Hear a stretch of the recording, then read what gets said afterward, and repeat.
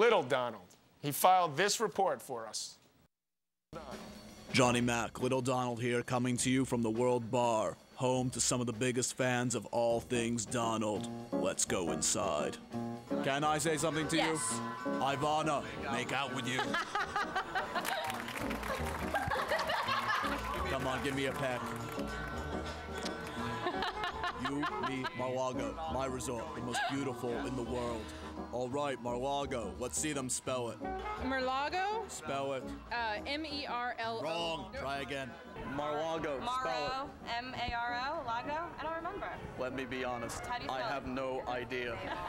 M E M I R. Wrong. Try M again. E M I T M Wrong. M.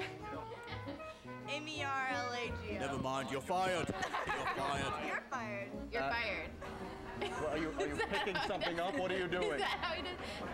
Fired. There was nothing behind that. We both know it. You, you're fired. You're fired. And you are hired, baby. You're fired. I'm so fired. Help me. I'm fired.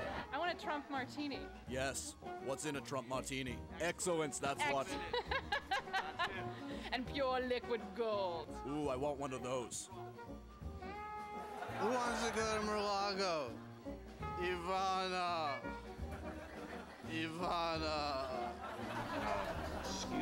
Excuse me, Mr. Trump. Uh, we're gonna be having our last call.